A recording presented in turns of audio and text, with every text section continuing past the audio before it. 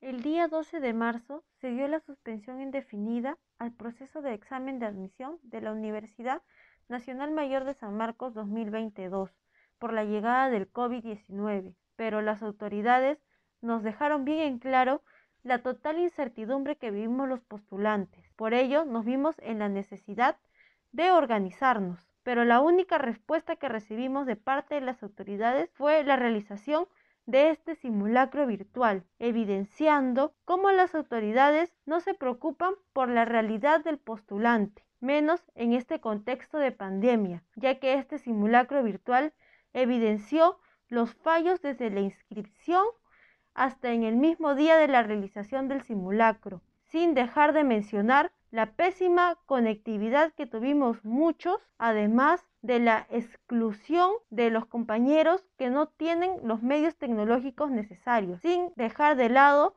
la poca seguridad que se dio en este simulacro virtual. ¿Por qué no a un examen de admisión virtual? Recordemos que postulamos a una universidad pública y la mayoría de nosotros los postulantes no contamos con recursos económicos y tecnológicos. Además de ello, nada nos garantiza de que esta prueba virtual sea segura y transparente. Ya se ha podido evidenciar incluso en el simulacro de que este sistema que nos brinda no es para nada seguro y que incluso puede existir plagios. Además de que los requisitos que nos piden son excluyentes y discriminatorios, como el de contar con una laptop o computadora, buena conectividad, una buena resolución de nuestra cámara, audio, entre otros, desde ya nos excluyen y todos los postulantes nos sentimos indignados ante esto. Además, las autoridades hasta el momento, desde la suspensión de nuestro examen en marzo hasta la fecha, no han mantenido un diálogo con nosotros. Solamente nos dicen reiteradas veces que nuestro examen se encuentra suspendido de manera indefinida. Y a partir de este simulacro que nos dieron de sorpresa,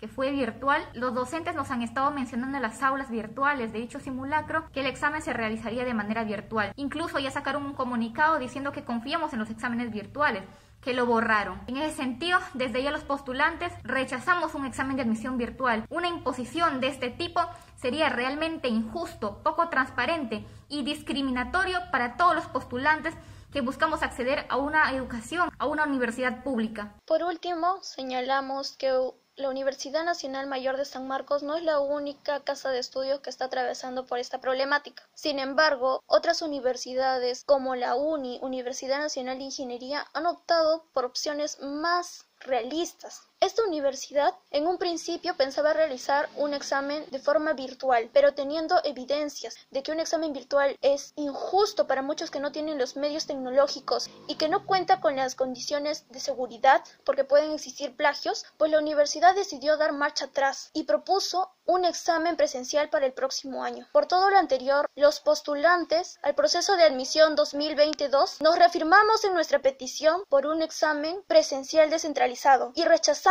una imposición de un examen virtual. Un examen descentralizado puede realizarse teniendo en cuenta las medidas sanitarias necesarias y además podemos usar los colegios, los centros de estudio, los coliseos, entre otros. Asimismo, también exigimos una mesa de diálogo con las autoridades, con los representantes de la coordinadora de postulantes y los representantes de la FUNS. No al examen virtual.